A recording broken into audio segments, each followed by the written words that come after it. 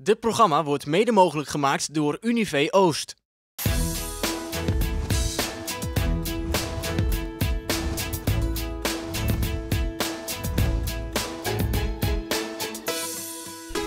Regen maar komen, zijn we al uh, in het weekend een beetje. Maar er is toch hier en daar behoorlijk wat uh, neerslag gevallen. Maar niet zoals het eigenlijk uh, verwacht was, want de druk zal een beetje op het zuiden van het land zijn, terwijl het toch het noorden behoorlijk nat is geworden.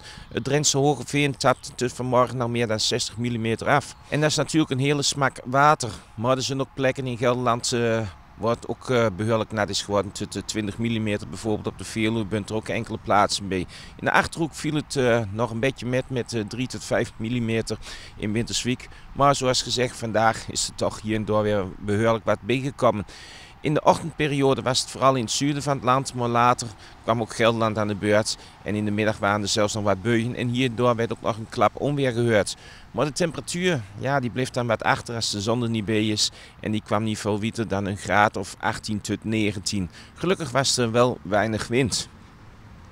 De foto die uh, ik laat zien is dan maar een beetje een kleurenfoto. En dat wil zeggen een kleurenfoto dat je wat kleurrijke bloemen ziet. Want het weer, ja, daar word je natuurlijk niet zo heel erg vrolijk van. Tenminste, de meeste mensen niet. Maar wil je ook een foto opsturen?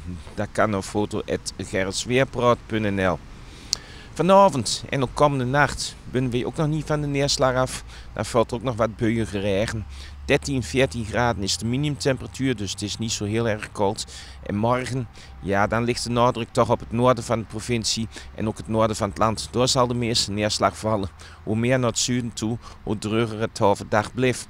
Maar de temperatuur morgen, magertjes hoor, 17 graden zal de maximumtemperatuur zijn. Maar ook morgen niet al te veel wind. Ja, en ga je dan staan? Een beetje dreuge vuur te houden. Dat is een beetje, haal je een beetje op de hardigheid. En hier staan we aan de autobaan, een stille wald. En ja, het is natuurlijk, uh, ik kan het al honderd keer zeggen, maar het is allemaal groen, groen, groen. Wij zien het. De buntperiode geweest is dit van het jaar dat het toch al heel anders was.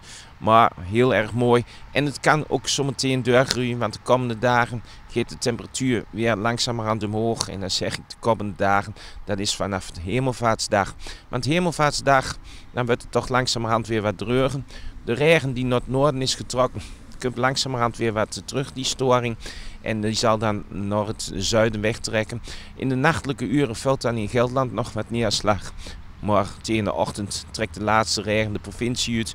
En dan krijgen we een dag waarin zelfs nog wat opklaring komt vanuit het noordoosten. En de temperatuur dan weer oploopt naar 18 tot 19 graden.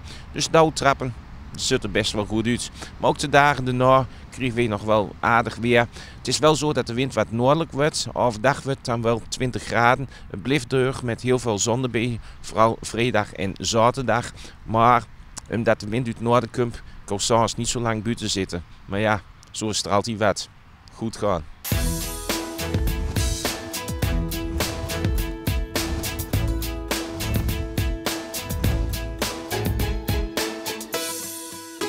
Dit programma werd mede mogelijk gemaakt door Unive Oost.